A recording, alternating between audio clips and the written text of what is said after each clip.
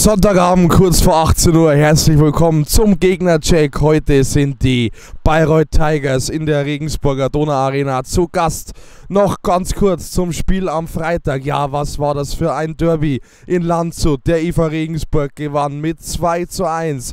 Jeff Smith war der doppelte Torschütze und sicherte seinen Farben den überragenden Sieg vor einer starken Kulisse von über 4.500 Zuschauern. Das ganz kurz zum Freitag. Jetzt starten wir mit dem Vergleich beider Mannschaften. Wir beginnen natürlich wieder mit den Topscorern. Beim EV Regensburg ist das Nikola Gajowski mit 32 Scorerpunkten. Bei den Gästen ist es Michael Bartosch. Er konnte 31 Zähler auf seinem Konto verbuchen. Die Top-Torjäger beim EV Regensburg, der US-Boy Jeff Smith.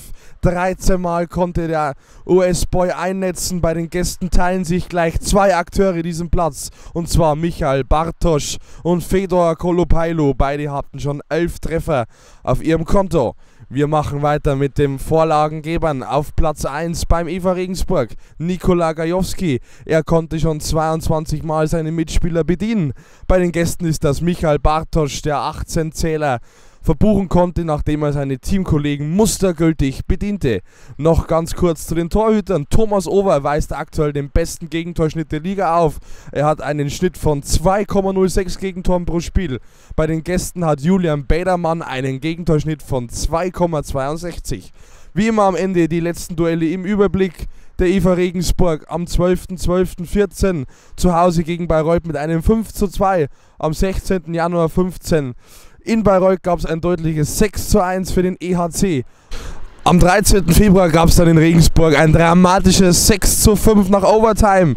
Am 16. Februar diesen Jahres, wie erwähnt. Und das letzte Duell in dieser Saison stieg am 16. Oktober stieg am 18. Oktober in Bayreuth. Dort gab es einen 4 zu 3 Overtime-Sieg für den EHC, der übrigens bis jetzt das einzige Team ist, der den EVA Regensburg schlagen konnte.